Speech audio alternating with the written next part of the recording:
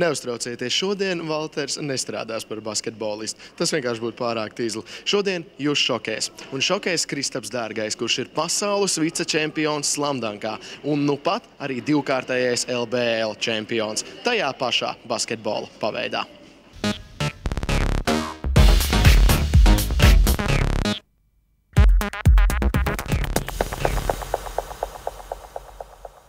Basketbolists Kristaps Dārgais, Latvijas Universitātes komandas uzbrucējs, viņam ir 21 gads, viņa augums 1,96 cm. Rīgas Tehniskās Universitātes būvniecības fakultātes students, Junpravietis. No turienes nāk arī labākie draugi un uzticīgākie fani. Pēc uzvaras Latvijas Basketbola līgas un Igaunijas Basketbola līgas zvaigžņu spēlēs, kā arī Geto basketbola slamdanga konkursa pirmajā posmā, Pagājusī vasara izvērsās pašam Kristapam negaidīt piedzīvojumu un panākumu bagāti. Lielākais panākums - Rumānijā notikušajā pasaules slamdanga čempionātā iegūtā otrā vieta. Pagājušā sestdienā Latvijas labākais bumbas priekšanas virtuos aizstāvēja savu titulu, atkārtot uzvarēdams LBL zvaigžņu spēles slamdanga turnīrā. Tātad Dankers no Junkravas, Kristaps Dārgais. Kristaps Dārgais! Jā, visi priecājās, visi ir pārsteigti. Arī Latvijas universitātes treneris Aivets Sots Rubens. Jā, leģionāri var turpināt brīnīties. Droši vien arī īsti nesaprata, ko nozīmē, kāpēc šis spēlētājs bija iebalsots sākuma sastāvā. Bet tagad viņi to redz pilnā krāšnumā. Ko, Kristap, tu esi labākais dankers Latvijā. Nu, īstenībā jāsāk jau laikam ar lielāko vicečempionu pasaulē. Uh, kā tu līdz tam nonāci? Jo, nu, kā, nu, basketbols, nu, jā, danki tas ir skaidrs, bet, nu, danka čempions, nu, tur ir jābūt kaut kādai jogai apakšā. Nu, viss būtībā jau, laikam, sākās pirms diviem gadiem, pirms divu vasarām, kad bija Geto basket turnīri risinājās, tad bija Geto basket slamdanga konkurss sākās. Tad tajā pirmajā konkursā sanāca arī uzvarēt.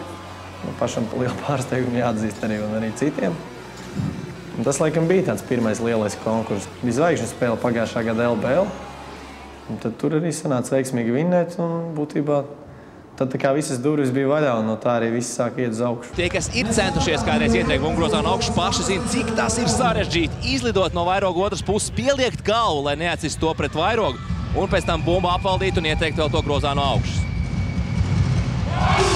Fantastika, fantastika. Šķiet, Kristaps dārgais patiešām ir ļoti labs dankers, manuprāt. Kaut kur taču ir jāsāk tas, tie danka treniņi. Nu.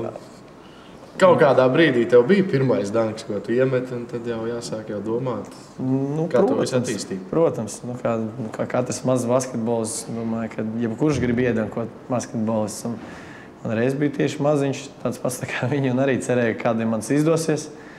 Un, tu, tu pats atceries, cik gados tev jā, bija protams, pirmais? 16 gadi man bija. Tas pirmais danks izdevās, un tad jau, tad jau tā dankošana tā kā lavīna pārņem uzreiz tikai. Jau arī vienreiz, tad gribas vēlreiz, vēlreiz, vēlreiz, un kaut ko jau mēģina. Kaut kādus trikus uztaisīt, ko esi video redzējis vai, vai no, no vecākiem basketbolistiem un labākiem dankotājiem. Un tad to visu mēģina atkārtot. Un, un tā ir tieši tas pats arī ar mani notika. Tas viss kaut kā pats no sevis sanāca. Sanāk, teiksim, vinnētajā jau vēl zvaigžņu spēles konkursā. Kaut kā nu, parādījās tāda iespēja aizbraukt uz Igaunijas zvaigžņu spēles slamdanga konkursu. Arī tur sanāca vinnēt.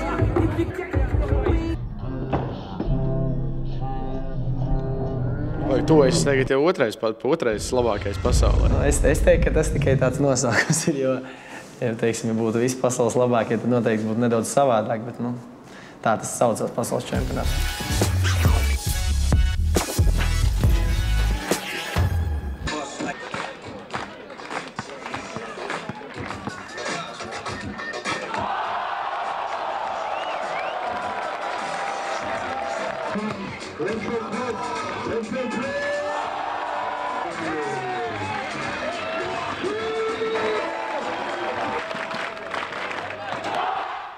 Kādam garumam ir jābūt, lai tu varētu no tā kārtīgi no augšas Un Tas nav laikam noteikts. Ir cilvēki, kas 1,60 m var ielikt no augšas. Ir arī tādi, kas 1,95 m nevar teiksim, tik gari tā kā es, kur nevar ielikt no augšas. Starp citu par Junkravu, tu vis, visās intervijās visur lepojies ar to, ka tu esi no Junkravas, tavu vēlākie fani ir no Junkravas. Vai ir kaut kāda nozīme tavā izaugsmē tam, no kurienes tu nāc? Es domāju, ka noteikti.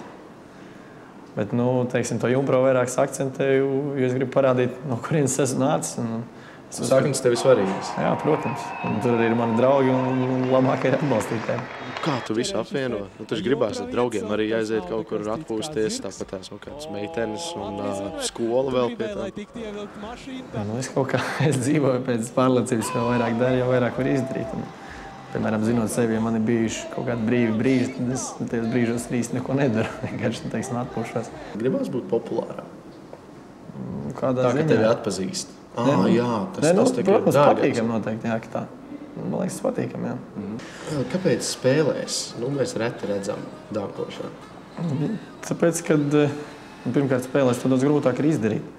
Un otrkārt, spēlēs, es, piemēram, piešķiru tādu ošķirīgu lomu. Man tas nav tik svarīgi, jo divas punktus gūt ir svarīgāk. Viņu varu pamest garām, padankot garām un svarīgā brīdī. Un treneris noņems malā un es nezinu, ko ar mani izdarīt.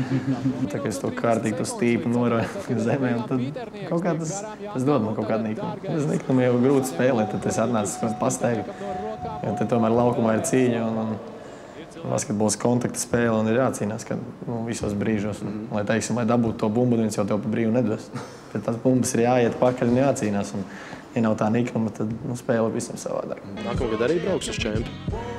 Nu, pēc pagājušā gada jau izstāsta, ka mani uzveicinās. Jā. Bet nu, kā būs grūti pateikt.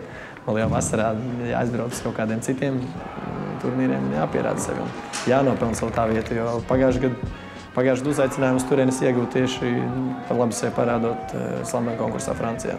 Mhm. Nu jā, nu tad ir nopietni jāpiestrādā. Protams. Nu to arī tev novēlu. Paldies! Reizi